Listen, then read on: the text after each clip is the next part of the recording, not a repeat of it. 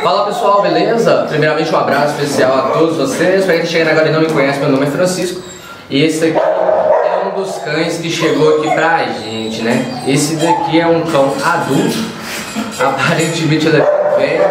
É tanto que no focinho dele tá bem branco, né? Junina! Junina tá ali doida pra sair, a hora que viu o cachorro. Ô moço! O cachorro urinou em mim. E mãe. Aí, gente, o cachorro parou de urinar. O bicho que fora, quase urinou em mim. Esse cachorro, aparentemente. Olha a cara dele pra vocês verem. Ó. Chega a estar com o a boca ali branca. É um cachorro bem velho. E o seguinte, dá pra vocês verem o comportamento do animal, né? Olha só. É um cachorro adulto que está aqui comigo, mas não está agressivo comigo. Junina! Eita moça! Não está sendo agressivo comigo. Então isso é um negócio muito bacana, né? É muito importante a gente olhar em relação ao comportamento do animal, porque nem todo cão, nem todo cão, né, idoso, porque esse já é um cão, dá pra ver que ele é idoso, ele vai ser assim com pessoas desconhecidas então tem que tomar muito cuidado em relação a isso, porque sempre quando eu falo aqui no canal em relação ao manejo, né, tem gente que às vezes acha que é exagero. Porque quando ele mostra um cachorro assim, ó, dessa forma, onde eu estou pegando e tudo, né, tem gente que acha que todos são assim, e não são. Tem cachorro que mesmo ele sendo de boa, dessa forma, eu passando a mão aqui, ó, ele pode querer até mesmo morder. Mas para isso, a gente tem que observar o comportamento do cão. E também na hora que for passar a mão no cachorro, não passar a mão apenas em um local só, né? Ficar passando a mão muito rápido em um local só, porque acaba infelizmente irritando o cachorro. Outra coisa, tem que observar também a questão do comportamento do cão, onde você pega e qual é a reação após você pegar. Tem cachorro que você triscar na cauda dele vai querer morder, entendeu? Então tem que observar tudo isso, beleza, gente? Aqui se trata de um cão adulto, né?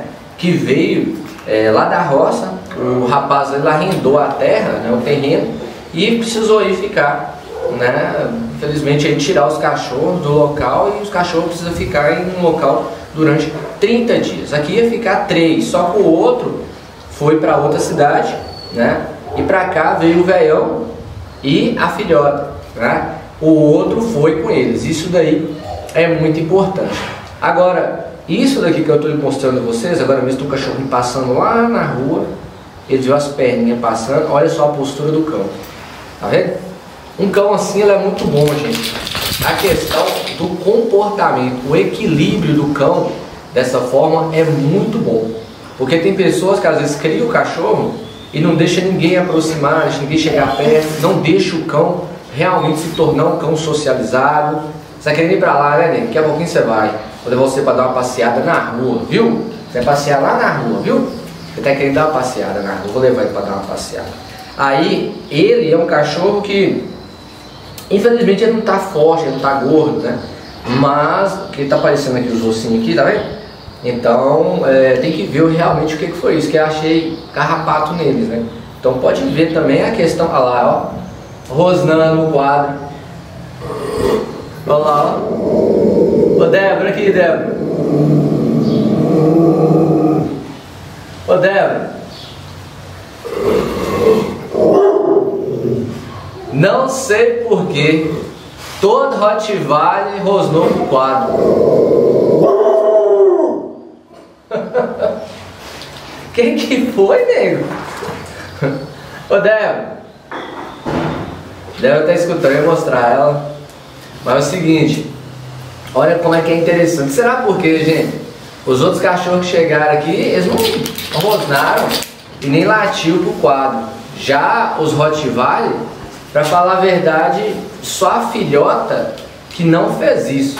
Agora a outra que nós achamos na rua, a Tóquio, né, que veio por ele também, ela também rosnou e até latiu para o quadro. E agora o cachorro aqui mal mal viu o quadro, já latiu é interessante, né? Então dá pra ver aí que a gente tá aprendendo um pouco a mais em relação a isso, né? Aí, ó. Às vezes, por exemplo, você pega um, um cachorro ativado, tem um quadro na sua casa que talvez ele possa, uma hora ou outra, fazer isso. Seus cachorros aí são de jeito? Tá doidinho pra dar uma passeada, eu vou levar ele pra dar uma passeada na rua. Então, vou levar ele pra dar uma passeada ali na porta, aproveitar agora que o sol tá de boa, agora de manhã. O manejo com ele foi bem tranquilo, não precisei usar cambão, não precisei usar nada do tipo, né? É, eu simplesmente fui lá no canil, peguei ele, usei ali a corrente para poder estar tá limitando, né? E como você sabe, a corrente é para manejo, né? E não para confinamento, tem uma grande diferença. Tem pessoas mesmo que infelizmente só porque que a gente mostra em relação à questão do manejo, para vocês terem noção, gente, infelizmente tem gente que vem e age de má fé e denuncia quando a gente mostra em relação à questão de manejo, e isso é muito ruim, prejudica muito o canal, porque um cachorro, quando a gente pega, ainda mais um cachorro que é idoso, a gente não sabe como que é o comportamento daquele cão. Então a gente tem que ir analisando, a gente tem que ir pegando no animal, a gente tem que movimentando ele, fazendo um manejo para a gente descobrir o que, que ele gosta, o que ele não gosta e como lidar com aquele cão, porque cada cachorro tem um comportamento diferente. Então a gente tem que entender a personalidade. Aqui mesmo eu estou pegando num, num Rottweiler velho, né? Olha a boca dele como é que já tá, tá toda branca já, de tão velho, né? Então isso, é, vou falar que isso é verdade, a gente pegar a confiança num cachorro velho não é fácil não, não é fácil. Né? Então a gente vê o comportamento do cão, a gente analisa como que está se comportando. Aí, está pedindo carinho, tá vendo? Ele não está ficando rígido, ele não está com a postura de ataque, ele não está com nada disso. Só que nem por isso eu tenho que ficar aqui dando muito carinho excessivo, ele, esse tipo de coisa, de forma que vai incomodar o animal. Não posso fazer isso não. Então tem que ir na manha e tal. E outra coisa, é questão de soltar ele ali na frente é um pouco perigoso por causa das outras cachorras, né? Infelizmente pode latir ele e ele pode querer ir para grade, querer brigar.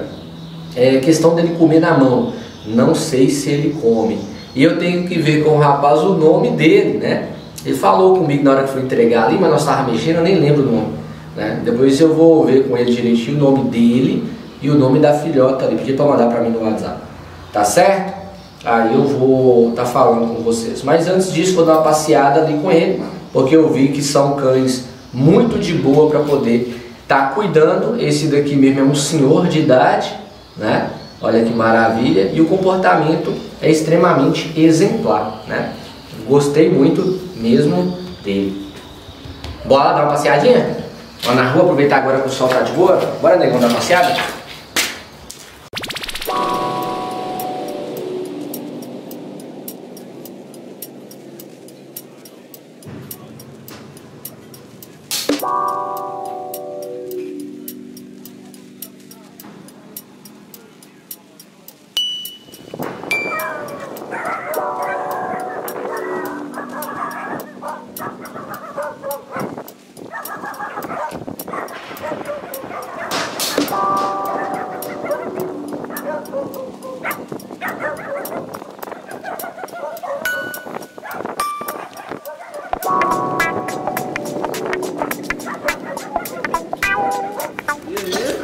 E aí, brother?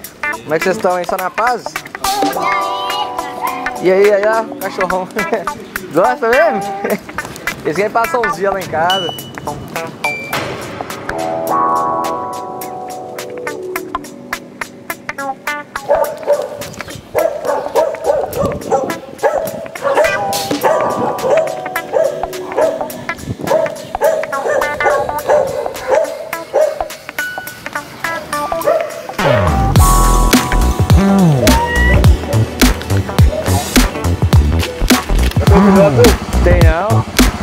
Esse aqui vai ficar em casa durante uns 30 dias. É do cara da roça.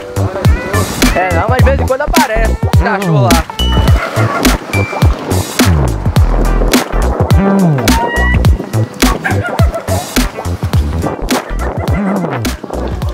Não. O que tava solto era de Rogério. É fêmea? Essa aqui vai ficar em casa 30 dias, essa aqui mais outro, tem outro lá também, uma filhota.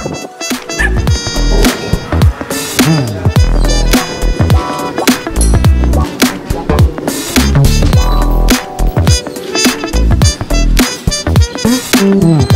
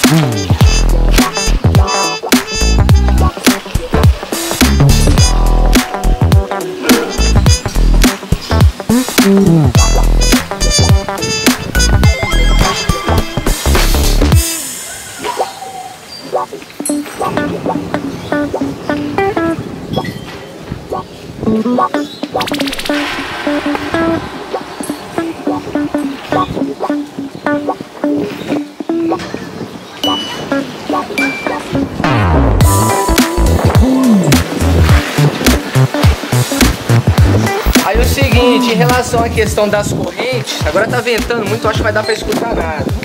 Corrente serve apenas para limitar o animal. Ali mesmo tá o adulto, aqui tá a filhota. Débora até brincou ali com a filhota um pouco. E agora o que acontece? Quando limpar o canil, aí os cachorros tem que ficar um pouco limitado, entendeu? Mas depois a gente vai fazer o que? A gente pega o cachorro, solta lá no lote, né? Pra ele correr, solta ali no fundo e faz o manejo. Tá vendo como é que a filhota é muito agitada? É muito mega agitadora, né? Então ela é uma criança ainda. Isso daí é muito comum, né? Cachorro ser dessa forma aí. Aquele ali já é mais tranquilo, é um cachorro já maduro, um cachorro adulto, tá até com o focinho branco. Né? É igual falei, é um cachorro que já é duro. Mas independente disso, é um cachorro mega ultra. Aí, aí. E isso é muito bom em relação a ver um cachorro numa idade dessa com entendeu? É um tipo de cachorro que, se for um dia na casa dos outros, por exemplo, ele vai se dar muito bem. Hoje ela vamos limpar o oi dela. E eu vou dar uma, uma limpada aqui no canil. E no próximo vídeo a gente vai dar uma passeada com a filhota. A gente vai levar mais um dos cães para dar uma passeada também. Comentem qual é o outro que gostaria de passear com nós, beleza? Que vocês gostariam de ver. Forte abraço, mete um like e até o próximo vídeo. Tchau, tchau, gente.